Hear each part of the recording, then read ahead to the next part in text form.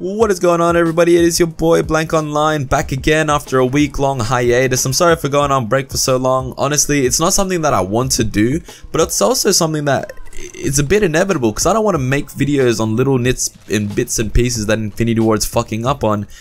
It doesn't warrant a whole video and nothing's really going on with Modern Warfare. No news is breaking, there's playlist updates, but who the fuck cares about playlist updates? Like there's little bits and pieces here and there and there's just nothing really to make a full video about. But Today I thought I'd talk about what I'd like to see in Season 2. With Season 1 coming to an end and wrapping up, uh, I want to talk about what I'd like to see in Season 2 in terms of content and theme and stuff like that.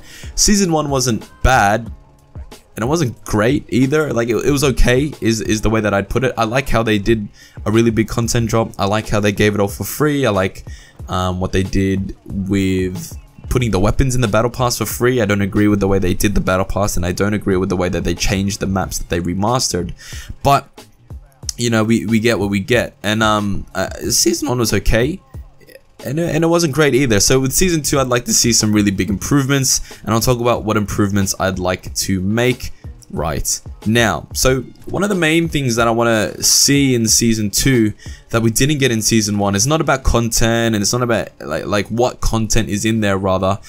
It's about how they spread out that said content. And I think the thing we got with season one, as I said, we got something really big, then we got something small, and then we got nothing after that. So what I'd like to see here with with season 2 of Modern Warfare is you can have that big push at the start. Obviously you have to with the hype. So your remastered maps your operators your battle pass your new weapons and all that sort of stuff have that big bang at the start. In the middle have something there as well. And then the end have something there as well. Now you could argue that that was there with season 1 as well with the extension with the crossbow but honestly it's not enough. Like games nowadays, it's it's very hard to keep players coming back, especially with how little are in our games right now, especially with Call of Duty. We look at Modern Warfare, there's nowhere near enough 6v6 maps. There's less maps in 6v6 right now in Modern Warfare than there were in Black Ops 4, and even Black Ops 4 didn't have near enough as games like Modern Warfare 2, Black Ops 1, Black Ops 2. Like, there's not enough content there to keep players coming back because what you're gonna what we get what we have right now at least is we get the same same maps all the time. Hackney Yard, uh, fucking St. Petrograd, Shipment, Vacant, Shoot House. It's just the same maps over and over again. And what you find as well is that the only playable maps right now is Shoot House and Shipment and you can argue for Hackney Yard, but the, like really at the moment right now, the only map that I can play is Shipment and Shoot House. I can only play those two maps. I find myself when I'm, I don't know if you've noticed in my videos, but the only gameplays you see is Shoot House and Shipment. Like all the mm, games and gameplays that I have that are different maps are from earlier on, like at the start of the Modern Warfare uh, life cycle when I played just normal Domination 6v6 and I, and I was in, there was no Shipment and there was no Shoot House and that's where those gameplays come from. Like Shipment, to me at least, and this might be like a, a weird opinion to have, is the only playable map. Because it's the only map that's fast paced enough for me to actually enjoy myself. When I play maps like uh, St. Petrograd, and, and when I play maps like uh, fucking even Hackney Yard to an extent, they're too slow for me. And and and it, that might be some like 12 year old uh, fucking mentality to have to some people who like slow and tactical shooters like Rainbow Six Siege or Insurgency or whatever that is. But for me, being a Call of Duty fan and growing up with Call of Duty and expecting a fast-paced shooter, I like having my maps be fast-paced. I like my game being fast-paced. So Shoot House and Shipment have that for me, which is why they're the only playable maps for me. So, what I'd like to see with Season 2 is have a constant drip of content, have a constant drip of things for me to play with, and not have the maps be like the original maps were. You can, I can argue, and I can tell you right now, that all of the maps we got with Season 1 are the best maps that we have gotten in Modern Warfare. Shoot House was a DLC map, one of the best maps in Modern Warfare. Shipment even though it's a shithouse, one of the best maps in Modern Warfare, just purely down to the way it plays and the fact that it's not slow and tactical. Uh, Vacant, I really, really enjoy Vacant for some reason in this game, and I didn't think I would, so that's one of the best maps in my opinion. And and Crash, it's a lot of people's favorite maps, and from for myself, for example, I'm I'm not a big fan of it, but a lot of people like it. So you can argue that all the DLC maps that Infinity Ward are bringing to us are some of the best maps in the game. So I'd like to see that continue in, in Season 2, and I'd like for more. And, and I might sound greedy asking for more, but you gotta keep people coming back. I can't survive this whole life cycle just playing shipment and shoot house give me more give me more to play around with i'd love for for infinity ward bring back maps like high rise maps like terminal maps like Rust even, even though Rust is going to be the biggest clusterfuck I've ever seen in a Call of Duty game, it's going to be some mindless fun. Fucking bring it back. It's going to be stupid. It's going to be ridiculous. It's going to be, the spawns are going to be awful. It's going to be just something that you want to pull your hair out after playing it. But it's going to be better than St. Petrograd. It's got to be better than St. Petrograd. It's got to be better than Piccadilly. Anything's better than Piccadilly, so I'd love to see more of that. Just not spread out the content but increase the content that you have throughout the whole entire life cycle of season 2 and I think that's something that we need to have. Like back in the day when you had your map packs of 4 maps and a zombies map coming out every 3 months that was fine because the base game we had had so much content in it. Now in Modern Warfare where we have so little content or at least content that's spread out over so many different game modes 6v6 10v10 ground war gunfight it's hard for players to enjoy that traditional 6v6 to keep coming back and play the game. So extend that content, spread it out, bring more in, and we'll have a really good season 2.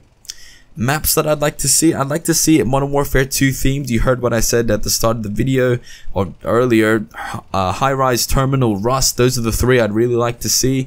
And then sprinkle in a couple other Modern Warfare 2 maps as well. Scrapyard is another one that comes to mind. So I guess with season one, it was really Call of Duty 4 memes with uh, themed with the three maps we got. So Crash, Vacant, Shipment, and then make season two Modern Warfare 2 themed, season three Modern Warfare 3 themed, and then you can go on from there with it, whatever way you choose it to be.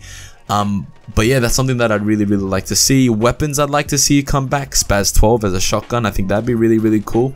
Um, UMP 45 I'd like to see come back. Intervention I'd like to see come back. So there's a lot of weapons you can pick there from Modern Warfare 2 that we can see come back. Um, and, and, and honestly, with Season 2, I think that the main thing that Infinity Ward has to realize with Season 2 is that from what they can learn from Season 1 is that, yes, having the biggest drop in Call of Duty history can be very, very beneficial um, to your initial push and to your initial hype. What they have to learn is how to retain that hype and how to retain the players and honestly not rely on two maps to, to, to keep your player base coming back. Because all we see in the playlist updates is shipment 24-7, shoot house 24-7, shoot the ship 24-7. So it's just those two maps. So Infinity Ward must know that those two maps are the maps that people really really like and really really want to play. So why not give us more maps like that? Well obviously not copy and paste, but like more maps that will play like those maps. Because man all we want is is maps that will not have campers in every corner, buildings, doors, windows, all that shit. We don't want that. What we want are maps like we had back in the day. And, and that's why the remastered maps are some of the best maps we have in Modern Warfare is because they were fundamentally built without safe space. Yes, safe space was added to them, but they weren't built and they weren't designed that way. They were added, safe space was added onto those maps by this Infinity Ward team, but the core maps themselves played like they did in those games that we all loved back in the day. So let's continue on that. Let's make Modern Warfare a best of Modern Warfare game. Let's do that. Why not? Like, why not have the best of every single Modern Warfare game in this game added to us through our seasonal passes? And, and the thing I want to add on to that as well, the Battle Pass, what I want to add on to the Battle Pass is that let's keep that going. Let's keep the Battle Pass having the weapons in there for free so you don't need to pay for the Premium Pass. And let's also tie operator ranks into the battle pass. There's no point having them separately. They're just two separate grinds that makes it even more of a struggle for people who don't have 100 hours or however long it takes to tier up in this game to get the max tier. Can you imagine all the people that paid their money to to pay for the premium pass but don't have the time to put into Modern Warfare because they have jobs, they have work, they have uni, they have whatever other commitments.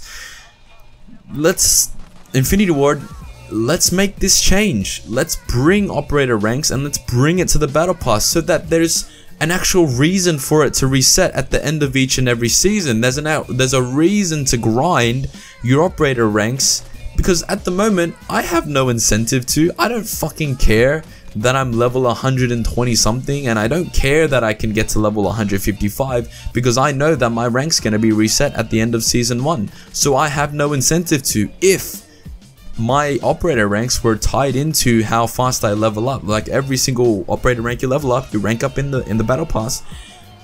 I would be grinding out. I would be trying to get to tier 100 because I'd want to, because I know that I can, because it's based on XP and it's not based on time played.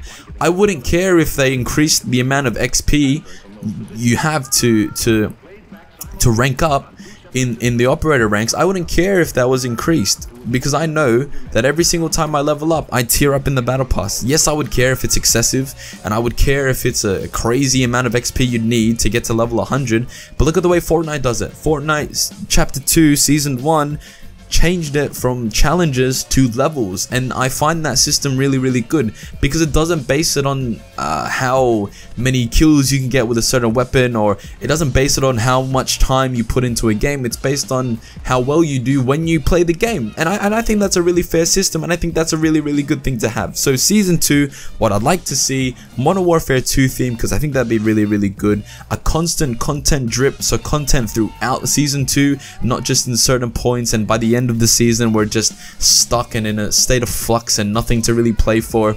And as well as that for the battle pass to be tied into operator ranks for that to be a really big change and, and that would make operator ranks make sense because at the moment they don't make sense because they reset after every single season. So ladies and gentlemen know it, let me know what you think in the comments down below. Uh, out of everything that I talked about what is something that you'd really like to see? And if you have your own ideas let me know down below. Let's get this discussion going. If you have enjoyed this video make sure you leave it a like and click that subscribe button so you don't miss out on any of my Modern Warfare content coming up.